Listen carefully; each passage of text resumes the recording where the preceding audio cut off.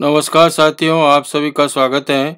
आज का टॉपिक जो हमारा है, वो आधार की तरह नया, ज़रूरी नंबर, ये बताएगा आपका डिजिटल और क्या क्या इसके बारे में हम इस विषय पर चर्चा कर रहे हैं।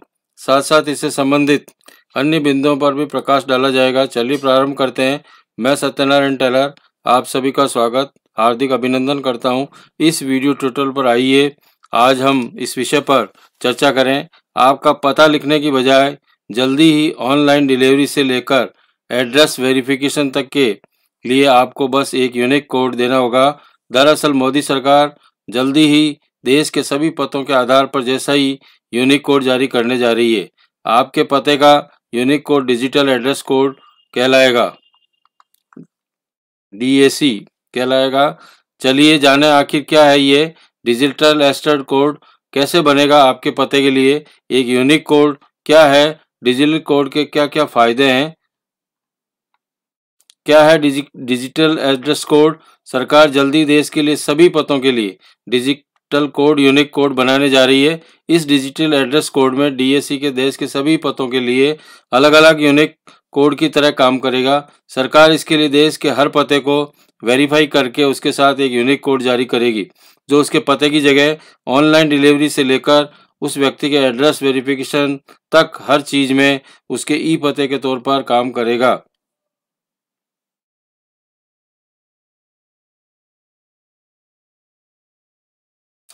कौन बन रहा है डिजिटल एड्रेस कोड या कौन बना रहा है?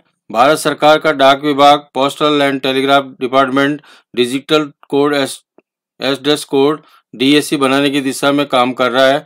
डाक विभाग ने हाल ही अपनी आधिकारिक वेबसाइट पर डिजिटल एड्रेस के प्रस्ताव पर सभी स्टैक होल्डर के फीडबैक और सुझाव मांगते हुए एक ड्राफ्ट रिसर्च पेपर जारी किया था, जो फीडबैक देने की समय सीमा 20 नवंबर तक समाप्त हो गई।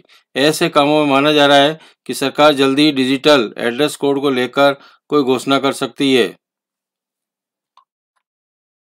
क्या है ये डिजिटल एड्रेस कोड? इसके बारे में ये बताया गया है, देश के सभी पतों के लिए एक यूनिक कोड जारी होगा। इसमें सभी पतों को वेरीफाई करना किया जाएगा। देश में 35 करोड़ घर हैं और 75 करोड़ उस पते, सभी के बनेंगे यूनिक कोड। यूनिक कोड सभी के लिए, पते के लिए ई एड्रेस के तौर पर काम करेगा।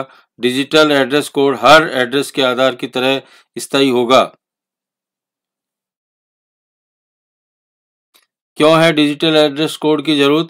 डिजिटल एड्रेस की ज़रूरत क्यों है? इसके बारे में डाक विभाग ने या पोस्टल विभाग ने बताया है कि आमतौर पर आधार को एड्रेस प्रूफ के तौर पर यूज़ किया है, लेकिन आधार पर दर्ज एड्रेस डिजिटल प्रमाणित नहीं किया जा सकता है।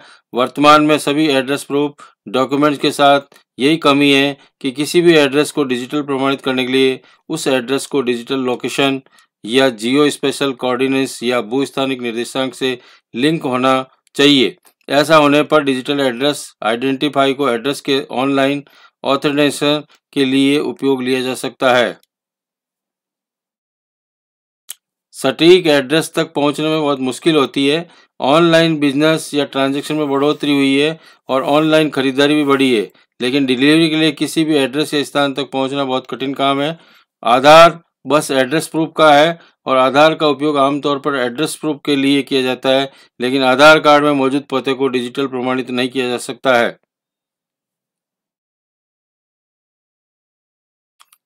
नकली पते से फ्रॉड अभी फेक एड्रेस यूज़ का करके ई कॉमर्स ग्राहकों के साथ धोखाधड़ी होती है और एड्रेस के डिजिटली लिंक लिंक होने से ऑनलाइन प्रमाणित किया जा सकता है जिसे फ्रॉड रुकेंगे।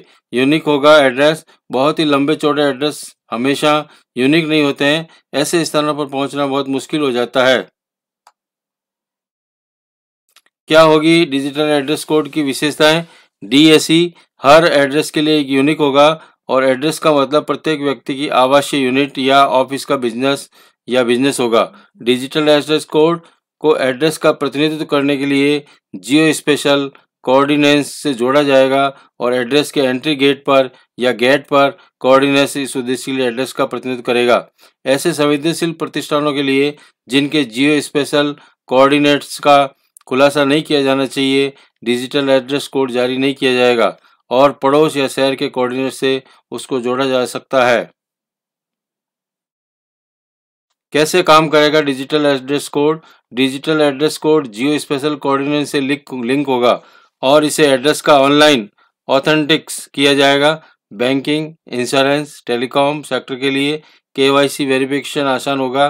संवेदनशील प्रतिष्ठानों का डिजिटल एड्रेस कोड जारी नहीं किया जा सकता है। शुरू में कुल 12 डिजिट का डिजिटल एड्रेस कोड जारी करने का प्रस्ताव है। डीएससी कैसे होगा? हर एड्रेस के लिए यूनिक, एक स्वतंत्र घर, एक डिजिटल एड्रेस कोड डीएससी के साथ उसका एड्रेस होगा। अगर घर का दो हिस्सा बंटवारा है तो उसके लिए एक अलग एड्रेस के साथ अलग अलग डीएससी जारी की जाएगी। एक अपार्टमेंट में हर व्यक्ति को एक digital address code DSC allot होगा, जो अपार्टमेंट या बिल्डिंग, ब्लॉक की एंट्री के जियो स्पेशल कोऑर्डिनेट से लिंक होगी। कोई भी कॉरपोरेट ऑफ़िस या सरकारी ऑफ़िस कॉम्प्लेक्स की भी अलग डिजिटल एड्रेस कोड होगी, जो उस बिल्डिंग के जियो स्पेशल कोऑर्डिनेट से लिंक होगी, जिसमें वह ऑफ़िस स्थित है। डिजिटल एड्रेस कोड डीएससी हर एड्रेस के लिए कोई स्थायी होगा, और यदि एड्रेस का प्रतिनिधित्व करने वाली प्रॉपर्टी कई एड्रेस में बदल जाती है तो हर नए एड्रेस को एक नया डीएसी अलॉट होगा। कितने डिजिट का होगा ये डिजिटल एड्रेस कोड डाक विभाग के मुताबिक भारत में करीब 35 करोड़ घर हैं। अगर इसमें सभी बिज़नेस गैर आवासीय लोकेशन को जोड़ दिया जाए तो देश में कुल पतों की संख्या करीब पिछहत्तर करोड़ हो सकती है। शुरू में ग्यारह डिजिट प्लस एक चेक डिजिट यानी कुल बारह डिजिट का डिजिटल एड्रेस कोड जारी करने का प्रस्ताव है, जिससे ज़रूरत पड़ने पर करीब 100 करोड़ पतों को कवर किया जा सकता है।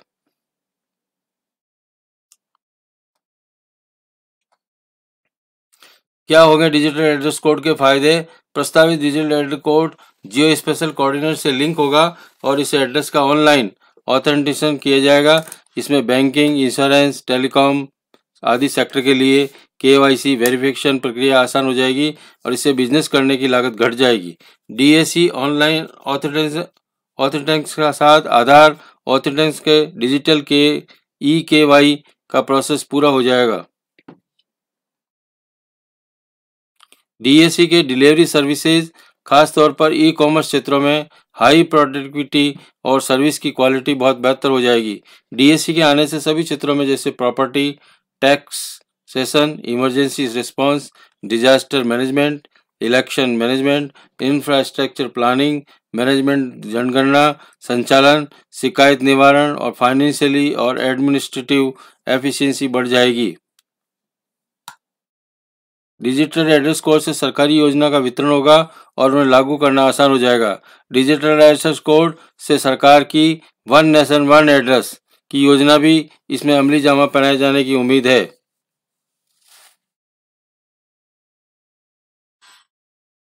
Thank you so much for watching. Have a great day. Jai Hind, Jai